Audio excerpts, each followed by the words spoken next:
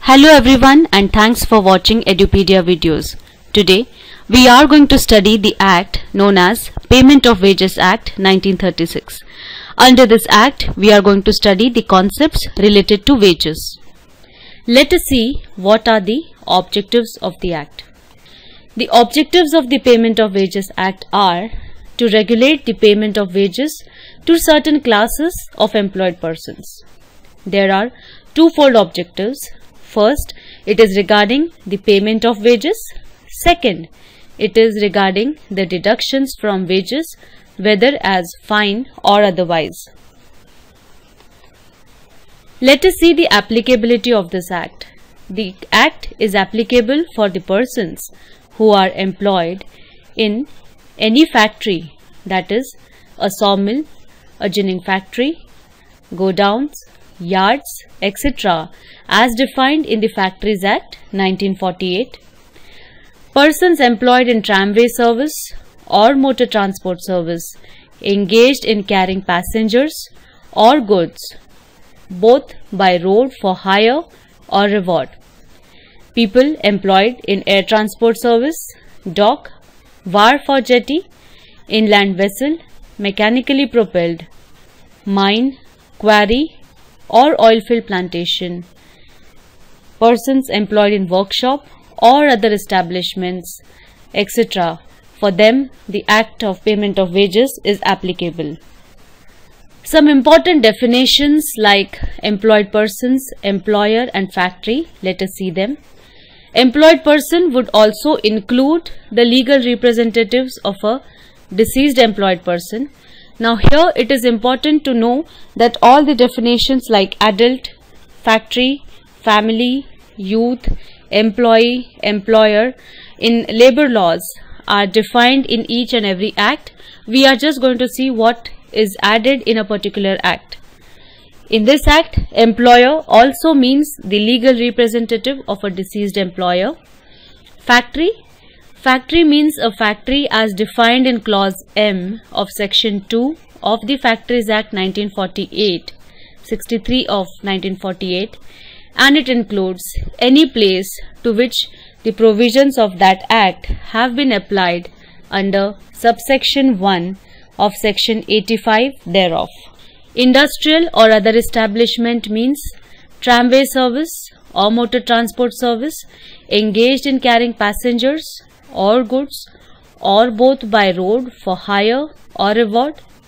It also includes air transport service other than such service belonging to or exclusively employed in military, naval or air forces of the Union or Civil Aviation Department of the Government of India, dock, wharf or jetty, inland vessel, mechanically propelled mine, quarry, or oil field, plantation, workshop or other establishments in which articles are produced, adapted or manufactured with a view to their use, transport or sale. Wages under Payment of Wages Act 1936 is defined as it is a means of all remuneration whether by way of salary, allowances or otherwise which is expressed in terms of money or capable of being so expressed which would if the terms of employment expressed or implied were fulfilled be payable to a person employed in respect of his employment or of work done in such employment. And it would also include any remuneration payable under any award or settlement between the parties or order of a court. Any remuneration to which persons employed is entitled in respect of overtime work or holidays or any leave period. It also includes any additional remuneration payable under the terms of employment, whether called a bonus or by any other name.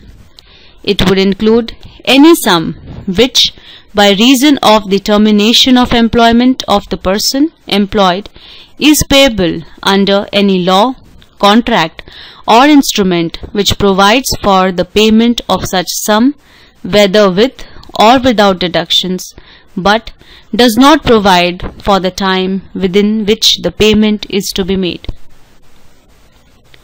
It would also include any sum to which the person employed is entitled under any scheme framed under any law for the time being in force.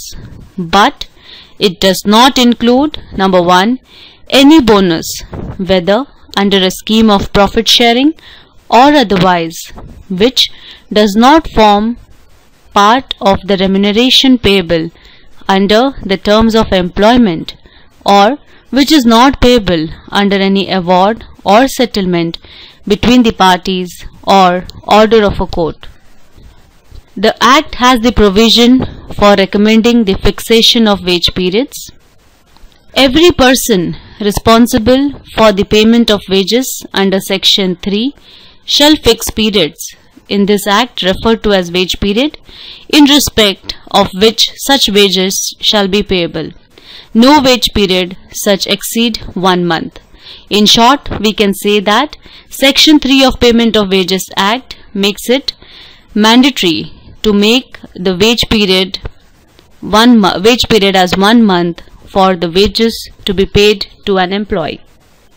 Time of payment of wages the wages of every person employed is paid when less than 1000 persons are employed shall be paid before the expiry of the seventh day of the following month. When more than 1000 workers before the expiry of the 10th day of the following month. Section 5.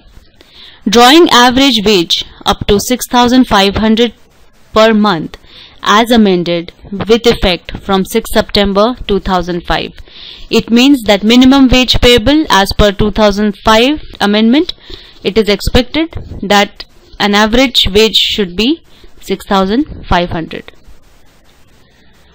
There is a provision for deduction made from the wages in section 7 which says that deductions such as fine, deductions for amenities and services supplied by the employer, advances paid, overpayment of wages, loan granted for house building or other purposes, income tax payable in pursuance of the order of the court, provident fund contributions, cooperative societies, premium for life insurance, contribution to any fund constituted by employer or a trade union, recovery of losses employees state insurance contribution etc deductions for absence from duties for unauthorized absence section 9 recommends absence for whole or any part of the body. If 10 or more person remain absent without reasonable cause the deduction applicable is of 8 days. Fines.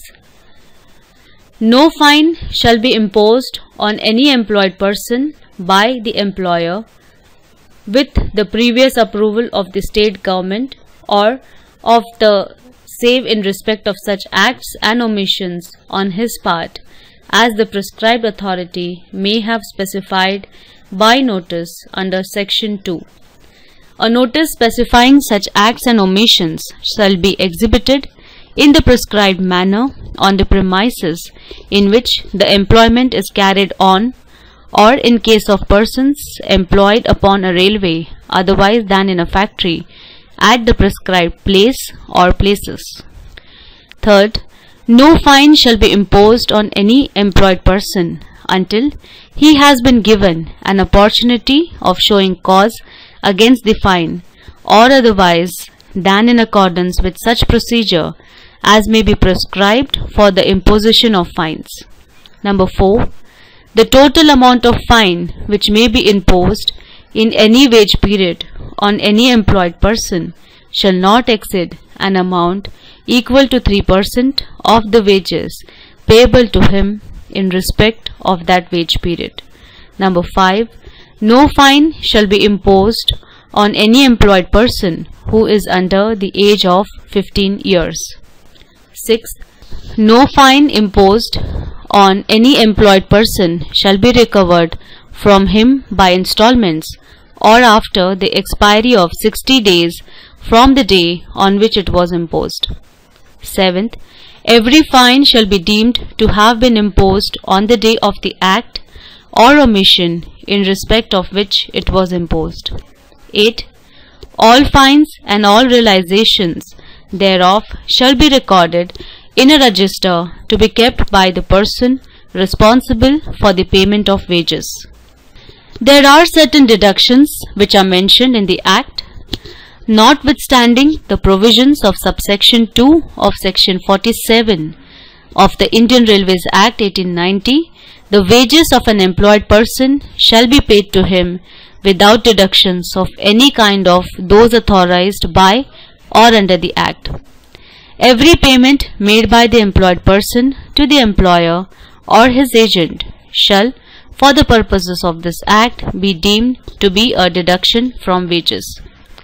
Any loss of wages resulting from the imposition for good and sufficient cause upon a person employed on any of the following penalties with the withholding of increment or promotion including the stoppage of increment at an efficiency bar, the reduction to a lower post or time scale or to a lower stage in a time scale, suspension.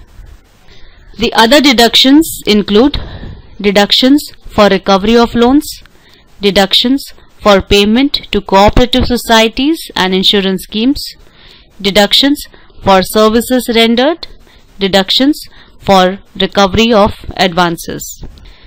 Here we have seen the Payment of Wages Act 1936 with special emphasis on the concept of wages and the deductions involved in the Payment of Wages Act. Thanks for watching Edupedia videos.